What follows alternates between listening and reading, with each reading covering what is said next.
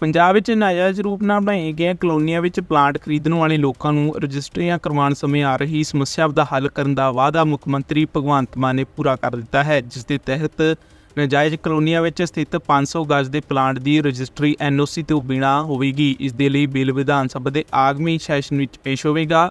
ਇਸ ਸੰਬੰਧੀ ਬਣਾਏ ਗਏ ਪ੍ਰਸਤਾਵ ਦੇ ਮੁਤਾਬਕ ਲੋਕਾਂ ਨੂੰ ਰਾਹਤ ਦੇਣ ਲਈ Punjab apartment and property regulation act ਵਿੱਚ ਸੋਧ ਕੀਤੀ ਜਾਵੇਗੀ। ਮੌਜੂਦਾ ਸਮੇਂ ਦੌਰਾਨ ਨਾਜਾਇਜ਼ ਕਲੋਨੀਆਂ ਵਿੱਚ ਸਥਿਤ ਪਲਾਂਟ ਦੀ ਰਜਿਸਟਰੀ ਕਰਵਾਉਣ ਲਈ ਐਨਓਸੀ ਲੈਣਾ ਲਾਜ਼ਮੀ ਹੈ ਜਿਸ ਦੇ ਲਈ ਮਾਰਚ 2000 ਪਹਿਲਾਂ ਦੀ ਰਜਿਸਟਰੀ ਐਗਰੀਮੈਂਟ ਜਾਂ ਪਾਵਰ ਆਫ ਅਟਾਰਨੀ ਹੋਣੀ ਚਾਹੀਦੀ ਹੈ ਅਤੇ ਗੁਲਾਟਾ ਵੱਲੋਂ ਇਸ ਦੇ ਨਾਲ ਗੂਗਲ ਇਮੇਜ ਦੀ ਸ਼ਰਤ ਵੀ ਲਾਈ ਗਈ ਹੈ।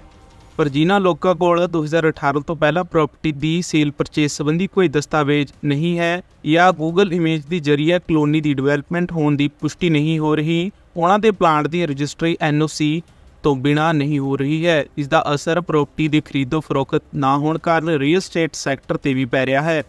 ਰਜਿਸਟਰੀ ਨਾ ਹੋਣ ਕਾਰਨ ਸਰਕਾਰ ਦੇ ਰੈਵਨਿਊ ਦਾ ਵੀ ਨੁਕਸਾਨ ਵੀ ਹੁੰਦਾ ਹੈ।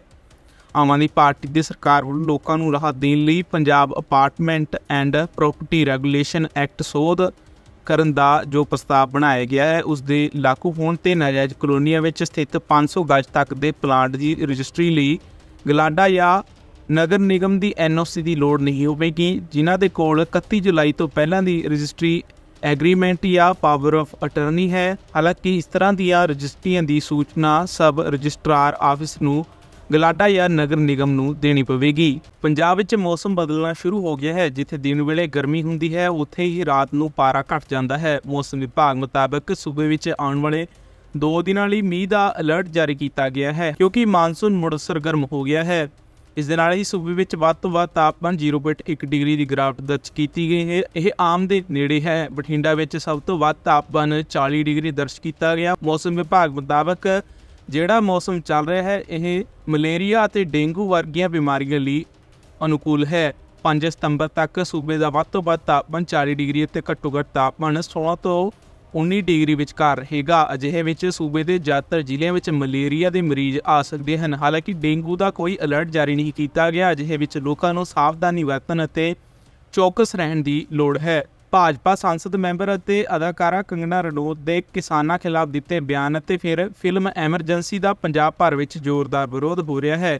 ਇਸੇ ਦੌਰਾਨ ਪੰਜਾਬ ਦੇ ਜਲੰਧਰ ਤੋਂ ਕਾਂਗਰਸੀ ਸੰਸਦ ਮੈਂਬਰ ਚਰਨਜੀਤ ਸਿੰਘ ਚੰਨੀ ਨੇ ਕੰਗਨਾ ਰਣੌਤ ਬਾਰੇ ਬਿਆਨ ਦਿੱਤਾ ਹੈ ਕਿ ਸ਼੍ਰੋਮਣੀ ਕਮੇਟੀ ਦੀ ਇਜਾਜ਼ਤ ਤੋਂ ਬਿਨਾਂ ਨਾ ਤਾਂ ਇਹ ਫਿਲਮ ਚੱਲੇਗੀ ਤੇ ਨਾ ਹੀ ਚੱਲਣ ਦਿੱਤੀ ਜਾਵੇਗੀ। ਇੱਥੋਂ ਤੱਕ ਕਿ ਕੰਗਣਾ ਨੂੰ ਜ਼ਿਆਦਾ ਗੰਭੀਰਤਾ ਨਾਲ ਲੈਣਾ ਨਹੀਂ ਚਾਹੀਦਾ। ਉਥੇ ਹੀ ਸਿਮਰਜੀਤ ਸਿੰਘ ਮਾਨ ਦੇ ਬਿਆਨ ਉੱਤੇ ਚੁਟਕੀ ਲੈਂਦੇ ਉਹਨਾਂ ਕਿਹਾ ਕਿ ਉਹਨਾਂ ਵਾਂਗ ਕਿਸੇ ਨੂੰ ਵੀ ਗੁੱਸਾ ਕਰਨਾ ਨਹੀਂ ਚਾਹੀਦਾ। ਚਰਨਜੀਤ ਚੰਨੀ ਨੇ ਕਿਹਾ ਕਿ ਪੰਜਾਬ, ਹਰਿਆਣਾ, ਹਿਮਾਚਲ ਪੁਰਾਣੇ ਪੰਜਾਬ ਦਾ ਹਿੱਸਾ ਹਨ। ਸਾਰਿਆਂ ਦਾ ਆਪਸ ਵਿੱਚ ਭਾਈਚਾਰਾ ਹੈ। ਸੋ ਸਾਡਾ ਜਿਹੜਾ ਪਿਆਰ ਹੈ ਉਹ ਬਣਿਆ ਰਹੇਗਾ। ਔਰ ਜਿਹੜਾ ਤੁਸੀਂ ਕੰਗਣਾ ਨੂੰ ਕਹਿੰਦੇ ਆ, ਕੰਗਣਾ ਨੂੰ ਕੋਈ ਜ਼ਿਆਦਾ ਸੀਰੀਅਸ ਨਹੀਂ ਲੈਣਾ ਚਾਹੀਦਾ। ਤੇ ਸਿਮਰਨਜੀਤ ਸਿੰਘ ਮਾਨ ਦੇ ਜਿਹਦਾ ਗੁੱਸਾ ਨਹੀਂ ਕਰਨਾ ਚਾਹੀਦਾ ਇਸ ਕਰਕੇ ਇਹ ਗੱਲਾਂ ਜਿਹੜੀਆਂ ਇਹ ਜ਼ਿਆਦਾ ਉਛਾੜਨ ਦੀ ਲੋੜ ਨਹੀਂ ਹੈ लग नहीं रहा कि कंगना को लेकर क्योंकि एक तरफ फिल्म को लेकर भी उसका विरोध किया जा रहा है इमरजेंसी फिल्म में उसने रोल किया है उसको लेकर भी विरोध काफी हो रहा है पंजाब में ਐਮਰਜੈਂ ਜਿੱਥੇ ਵੀ ਸਿੱਖ ਇਤਿਹਾਸ ਨੂੰ ਫਿਲਮਾਇਆ ਜਾਣਾ ਹੈ, ਉਹਦੇ ਵਾਸਤੇ ਜ਼ਰੂਰੀ ਹੈ ਕਿ ਪਹਿਲਾਂ ਐਸਜੀਪੀਸੀ ਨੂੰ ਉਹ ਪਿਕਚਰ ਦਿਖਾ ਕੇ ਉਹਨਾਂ ਤੋਂ ਪ੍ਰਵਾਨਗੀ ਲਈ ਜਾਵੇ, ਕਿਉਂਕਿ ਐਸਜੀਪੀਸੀ ਸਿੱਖਾਂ ਦੀ ਸਰਮੌਰ ਸੰਸਥਾ ਹੈ। ਉਸ ਤੋਂ ਪਰਮਿਸ਼ਨ ਲੈਣੀ ਜ਼ਰੂਰੀ ਹੈ। ਇਸ ਲਈ ਜੇ ਉਹਨਾਂ ਨੇ ਕੋਈ ਪਿਕਚਰ ਚਲਾਣੀ ਹੈ, ਤਾਂ ਪਹਿਲਾਂ ਐਸਜੀਪੀਸੀ ਨੂੰ ਦਿਖਾਉਣ। ਉਹਦੇ 'ਚ ਸਿੱਖ ਇਤਿਹਾਸ ਨੂੰ ਸਹੀ ਤਰੀਕੇ ਨਾਲ ਫਿਲਮਾਇਆ ਗਿਆ ਕਿ ਨਹੀਂ, ਇਹ ਐਸਜੀਪੀਸੀ ਦੇਖੇਗੀ। ਉੱਥੋਂ ਸਰਟੀਫਿਕੇਟ ਜ਼ਰੂਰੀ ਹੈ। ਜੇ ਉਹ ਸਰਟੀਫਿਕੇਟ ਮਿਲਦਾ ਹੈ, ਫਿਰ ਉਹ ਦਿਖਾ ਲੈ ਐਸਜੀਪੀਸੀ ਨੇ ਤਾਂ ਕੰਪਲੀਟ ਕੀ ਕੰਗਰਾ ਕੇ ਖਿਲਾਫ ਕਰਕੇ ਮਾਮਲਾ ਦਰਜ ਹੋਣਾ ਚਾਹੀਏ ਇਸ ਤੇ। ਮੈਂ ਇਸੇ ਕਰਕੇ ਕਿਹਾ ਕਿ ਉਹਨਾਂ ਦੀ ਪਰਮਿਸ਼ਨ ਤੇ ਬਾਅਦ ਨਾ ਅਸੀਂ ਚੱਲਣ ਦੇਣੀ ਹੈ ਫਿਲਮ ਤੇ ਨਾ ਹੀ ਚਲਾਉਣੀ ਚਾਹੀਦੀ। ਬੀਤੇ ਦਿਨ ਅਕਾਲੀ ਦਲ ਦੇ ਪ੍ਰਧਾਨ ਸੁਖਬੀਰ ਸਿੰਘ ਬਾਦਲ ਨੂੰ ਸ਼੍ਰੀ ਅਕਾਲ ਤਖਤ ਸਾਹਿਬ ਵੱਲੋਂ ਤਨਖਈਆ ਕਰਾ ਦਿੱਤੇ ਜਾਣ ਤੋਂ ਬਾਅਦ ਸੰਸਦ ਮੈਂਬਰ ਹਰਸਿਮਰਤ ਕੌਰ ਬਾਦਲ ਦਾ ਪਹਿਲਾ ਵੱਡਾ ਬਿਆਨ ਸਾਹਮਣੇ ਆਇਆ ਹੈ। ਹਰਸਿਮਰਤ ਕੌਰ ਬਾਦਲ ਨੇ ਕਿਹਾ ਕਿ ਅਕਾਲ ਤਖਤ ਸਾਹਿਬ ਪੰਥ ਦੀ ਸ਼ਾਨ ਹੈ। ਉਹਨਾਂ ਕਿਹਾ ਕਿ ਅਕਾਲ ਤਖਤ ਸਾਹਿਬ ਜੋ ਹੁਕਮ ਕਰਨਗੇ, ਉਹ ਉਹਨਾਂ ਨੂੰ ਮਨਜ਼ੂਰ ਹੋਵੇਗਾ। ਉਹਨਾਂ ਕਿਹਾ ਕਿ ਸੁਖਬੀਰ ਬਾਦਲ ਨਿਮਾਣੇ ਸਿੱਖ ਵਾਂਗ ਜਲਦ ਹੀ ਸ਼੍ਰੀ ਅਕਾਲ ਤਖਤ ਸਾਹਿਬ ਵਿਖੇ ਪੇਸ਼ ਹੋਣਗੇ ਅਤੇ ਆਪਣੀਆਂ ਸਾਰੀਆਂ ਭੁੱਲਾਂ ਬਖਸ਼ਾਉਣਗੇ। ਉਹਨਾਂ ਕਿਹਾ ਕਿ ਅਕਾਲ ਤਖਤ ਸਾਹਿਬ ਤੋਂ ਜੋ ਵੀ ਸਜ਼ਾ ਮਿਲੇਗੀ ਉਹਨਾਂ ਨੂੰ ਮਨਜ਼ੂਰ ਹੋਵੇਗੀ। ਦੇਖੋ ਅਕਾਲ ਤਖਤ ਸਾਹਿਬ ਮਹਾਨ ਨੇ ਜੀ, ਸਿੱਖ ਪੰਥ ਦੀ ਸ਼ਾਨ ਨੇ। ਤੇ ਹਰੇਕ ਸਿੱਖ ਉਸ ਥਾਂ 'ਚ ਜਾ ਕੇ ਆਪਣਾ ਸਿਰ ਨਿਵਾਉਂਦਾ ਹੈ। ਜੋ ਅਕਾਲ ਤਖਤ ਸਾਹਿਬ ਮਾਲਿਕ ਦਾ ਹੁਕਮ ਹੋਏ ਸਾਰੀ ਭੁੱਲਾਂ ਸੁਖਬੀਰ ਜੀ ਨੇ ਸਾਰੀਆਂ ਆਪਦੀ ਝੋਲੀ 'ਚ ਭਾਵੇਂ ਮੁੱਖ ਮੰਤਰੀ ਨਹੀਂ ਸੀਗੇ ਲੇਕਿਨ ਨਿਮਾਣਾ ਸਿੱਖ ਬਣ ਕੇ ਸਾਰੀ ਭੁੱਲਾਂ ਆਪਦੀ ਝੋਲੀਆਂ 'ਚ ਉਹ ਪਵਾ ਕੇ ਨਿਮਾਣੇ ਸਿੱਖ ਬਣ ਕੇ ਉੱਥੇ ਹਾਜ਼ਰ ਹੋਣਗੇ। ਜੋ ਅਕਾਲ ਤਖਤ ਸਾਹਿਬ ਜਿੱਥੇ ਮੀਰੀ ਪੀਰੀ ਮਾਲਿਕ ਆਪ ਹਾਜ਼ਰ ਨਾਜ਼ਰ ਨੇ ਜੋ ਸਜ਼ਾ ਲਾਣ ਖਿੜੇ ਮੱਥੇ ਸਿਰ ਮੱਥੇ। ਕਦੋਂ ਕਦੋਂ ਸੰਭਾਵਨਾ ਜਾਣਦੇ ਬਹੁਤ ਜਲਦ। ਬਿਲਕੁਲ ਇਹਦੀ ਲੜਾਈ ਸ਼੍ਰੋਮਣੀ ਅਕਾਲੀ ਦਲ ਤੇ ਸ਼੍ਰੋਮਣੀ ਕਮੇਟੀ ਬਹੁਤ ਸਾਲਾਂ ਤੋਂ ਜਿੱਥੇ ਕਾਂਗਰਸ ਨੇ ਤੁਸੀਂ ਦੇਖੋ, ਅੱਜ 40 ਸਾਲ ਬਾਅਦ ਵੀ ਸਾਨੂੰ ਪੂਰਾ ਇਨਸਾਫ ਨਹੀਂ ਮਿਲਿਆ। ਜਿਹੜੇ ਸਿੱਖ ਨਸਲ ਕੁਸ਼ੀ ਦੇ ਦੋਸ਼ੀ ਸੀਗੇ, ਪ੍ਰਧਾਨ ਮੰਤਰੀ ਨੇ ਆਪ ਇਹ ਨਸਲ ਕੁਸ਼ੀ 84 ਚ ਕਰਾਈ ਤੇ ਸਟੇਜ 'ਚ ਖੜ ਕੇ ਕਿਹਾ, ਜਦ ਵੱਡਾ ਦਰਖਤ ਗਿਰਦਾ ਹੈ ਤਾਂ ਡਿੱਗਦਾ ਹੈ ਤਾਂ ਧਰਤੀ ਹਿਲਦੀ ਹੈ। ਇੱਕ ਤਰੀਕੇ ਦੇ ਨਾਲ ਲੋਕਾਂ ਨੂੰ ਉਕਸਾਇਆ।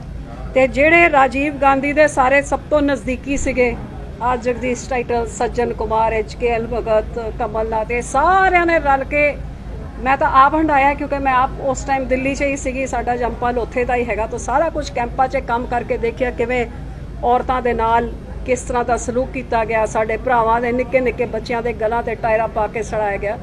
ਤੇ ਇਸ ਕਾਂਗਰਸ ਪਾਰਟੀ ਨੇ ਉਹ ਸਾਰੇ ਨਸ਼ਲ ਕੁਸ਼ੀ ਨੂੰ ਦਬਾਉਣ ਵਾਸਤੇ 10 ਜਿਹੜੀ ਕਮੇਟੀਆਂ ਬਣੀਆਂ, ਸਾਰਿਆਂ ਨੇ ਉਹਨਾਂ ਨੂੰ ਕਲੀਨ ਚਿੱਟ ਦਿੱਤੀ। ਤੇ 12ਵੀਂ ਕਮੇਟੀ ਜਿਹੜੀ ਵਾਜਪਾਈ ਸਾਹਿਬ ਨੇ ਬਣਾਈ, ਮਾੜਾ ਮੋਟਾ ਉਹਦੇ ਸਹਾਰੇ ਅਸੀਂ ਅੱਜ ਤਾਈਂ ਲੜਾਈ ਲੜਦੇ ਆਏ। ਤੇ ਆ ਜਿਹਦੀ ਜਗਦੀਸ਼ ਟਾਈਟਲ ਦੀ ਖੁਦ ਹੀ ਰਿਕਾਰਡਿੰਗ ਹੈ ਕਿ 100 ਸਿੱਖ ਤੋਂ ਮੈਨੇ ਮਰਵਾਏ ਉਹ ਰਿਕਾਰਡਿੰਗ ਦੇ ਬਾਵਜੂਦ ਇੰਨਾ ਸਮਾਂ ਲੱਗ ਗਿਆ ਇਹਨੂੰ ਅੱਜ ਕੋਰਟ ਨੇ ਜਿਹੜਾ ਵੀ ਇਹਨੂੰ ਫੈਸਲਾ ਸੁਣਾਇਆ ਹੈ, ਭਾਵੇਂ ਆ ਹੋਏ ਭਾਵੇਂ ਸੱਜਣ ਕੁਮਾਰ ਹੋਏ ਇਹਨਾਂ ਨੂੰ ਤਾਂ ਕਈ ਸਾਲ ਪਹਿਲੇ ਫਾਂਸੀ ਚੱਲ- ਲੱਗ ਜਾਣੀ ਚਾਹੀਦੀ ਸੀ। ਲੇਕਿਨ ਆ ਦੇਰ ਆਏ ਦਰੁਸਤ ਆਏ ਮਾਲਿਕ ਕਿਰਪਾ ਕਰਨ ਬਾਕੀ ਵੀ ਜਿੰਨੇ ਦੋਸ਼ੀ ਬਾਹਰ ਫਿਰ ਰਹੇ ਨੇ ਇਹੋ ਜੀ ਚੀਜ਼ਾਂ ਜੇ ਦੋ- 24 ਦੋ- 84 ਚ ਜੇ ਸਜ਼ਾ ਲੱਗ ਜਾਂਦੀ ਤਾਂ ਸ਼ਾਇਦ 2002 ਦੀ ਨਸਲਕੁਸ਼ੀ ਜਿਹੜੀ ਹੋਈ ਸੀ ਗੁਜਰਾਤ 'ਚ ਸ਼ਾਇਦ ਉਹ ਨਹੀਂ ਹੁੰਦੀ।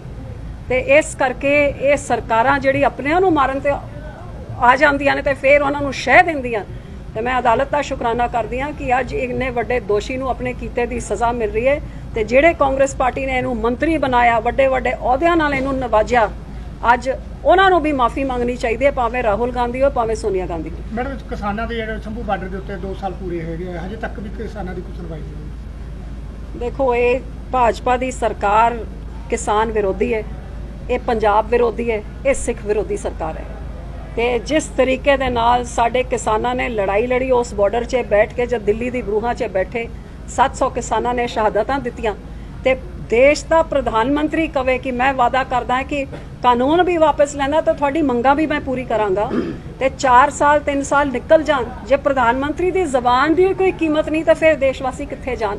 ਜਿਹਦੇ ਕਰਕੇ ਕਿਸਾਨਾਂ ਨੂੰ ਇੱਕ ਵਾਰ ਫੇਰ ਅੰਦੋਲਨ 'ਚ ਉਤਰਨਾ ਪਿਆ ਤੇ ਅੱਜ ਤਾਈਂ ਬਾਰਡਰਾਂ 'ਚ ਬੈਠੇ ਤੇ ਸ਼ਰਮ ਆਉਂਦੀ ਹੈ ਕਿ ਭਾਜਪਾ ਪਾਰਟੀ ਦੀ ਐਮਪੀ ਆਪਣੇ ਕਿਸਾਨਾਂ ਬਾਰੇ, ਉੱਥੇ ਬੈਠੀ ਮਾਤਾਵਾਂ ਬਾਰੇ ਇੰਨੀ ਮਾੜੀ ਚੀਜ਼ਾਂ ਕਹਿ ਕੇ ਅੱਜ ਅੱਗ ਲਾਉਣ ਦਾ ਕੰਮ ਕਰਦੀ ਹੈ ਤੇ ਉਹਦੀ ਪਾਰਟੀ ਉਹਨੂੰ ਖਿੱਚਣ ਤੋਂ ਬਜਾਏ ਉਹਨੂੰ ਡਾਂਟ ਕੇ ਉਹਨੂੰ ਸਸਪੈਂਡ ਕਰਨ ਤੋਂ ਬਜਾਏ ਉਹਨੂੰ ਸ਼ਹਿ ਦੇਈ ਜਾ ਰਹੀ ਹੈ। ਮੈਡਮ ਚਾਰ ਜਥੇਦਾਰਾਂ ਨੇ ਜਿਹੜਾ ਫੈਸਲਾ ਸੁਣਾਇਆ ਗਿਆ ਫੈਸਲੇ ਨੂੰ ਕਿਸ ਤਰ੍ਹਾਂ ਦੇਖਦੇ ਹੋ? ਸੁਖਬੀਰ ਸਿੰਘ ਬਾਦਲ ਕਦੋਂ ਪਹੁੰਚ ਰਹੇ ਹੈਗੇ?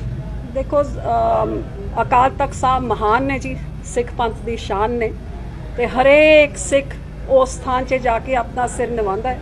ਜੋ ਅਕਾਲ ਤਖਤ ਸਾਹਿਬ ਮਾਲਿਕ ਦਾ ਹੁਕਮ ਹੋਏ ਸਾਰੀ ਭੁੱਲਾਂ ਸੁਖਬੀਰ ਜੀ ਨੇ ਸਾਰੀਆਂ ਆਪਦੀ ਝੋਲੀ 'ਚ ਭਾਵੇਂ ਮੁੱਖ ਮੰਤਰੀ ਨਹੀਂ ਸੀਗੇ ਲੇਕਿਨ ਨਿਮਾਣਾ ਸਿੱਖ ਬਣ ਕੇ ਸਾਰੀ ਭੁੱਲਾਂ ਆਪਦੀ ਝੋਲੀਆਂ 'ਚ ਉਹ ਪਵਾ ਕੇ ਨਿਮਾਣੇ ਸਿੱਖ ਬਣ ਕੇ ਉੱਥੇ ਹਾਜ਼ਰ ਹੋਣਗੇ। ਜੋ ਅਕਾਲ ਤਖਤ ਸਾਹਿਬ ਜਿੱਥੇ ਮੀਰੀ ਪੀਰੀ ਮਾਲਿਕ ਆਪ ਹਾਜ਼ਰ ਨਾਜ਼ਰ ਨੇ ਜੋ ਸਜ਼ਾ ਲਾਣ ਖਿੜੇ ਮੱਥੇ ਸਿਰ ਮੱਥੇ। ਕਦੋਂ ਕਦੋਂ ਸੰਭਾਵਨਾ ਜਾਣਦੇ ਬਹੁਤ ਜਲਦ।